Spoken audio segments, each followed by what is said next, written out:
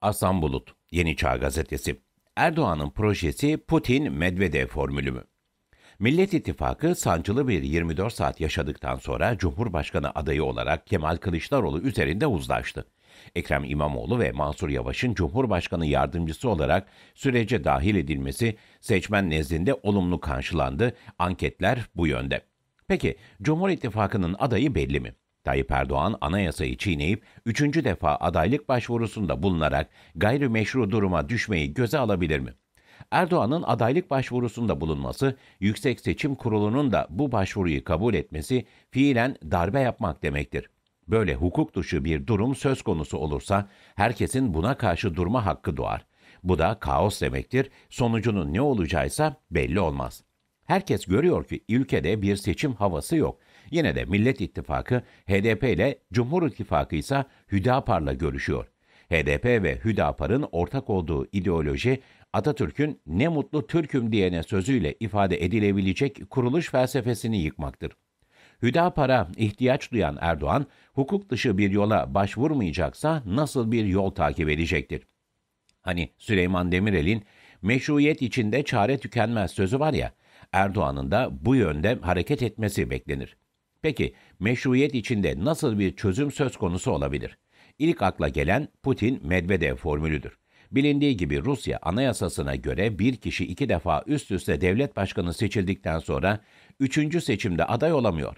Aynı kişi bir dönem geçtikten sonra yeniden aday olabiliyordu. İki dönemi bitiren Putin seçim öncesinde anayasayı değiştirse bile bunun uygulanmasının mümkün olmayacağı gerçeği karşısında devlet başkanlığına o sırada başbakan olan Medvedev'i aday gösterdi. Medvedev devlet başkanı seçilince de başbakanlığa Putin'i atadı. Bir dönem böyle geçtikten sonra Putin anayasayı da değiştirdi ve yeniden aday olarak 6 yıllığına devlet başkanı seçildi. Erdoğan'ın bu formülü uygulamak için kendi Medvedev'i de hazırlamış olması gerekir. Herkesin bildiği genç bir isim var. O isim Cumhurbaşkanı adayı olur. Erdoğan'ın da Cumhurbaşkanı yardımcısı olacağı ilan edilir.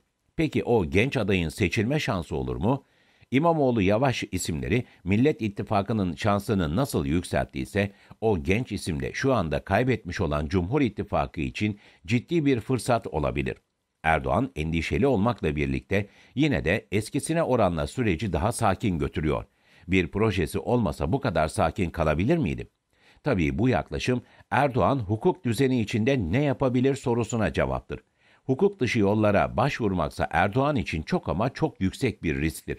Bir de üçüncü aday olarak Sinan Oğan var. Ata İttifakı'nın adayı olarak ilan edilen Sinan Oğan'ın muhalefetin oylarını böleceği iddiasına karşı ittifakta yer alan Adalet Partisi Genel Başkanı Vecdet Öz, tam aksine adayımız daha çok AKP ve MHP seçmeninden oy alır diyor.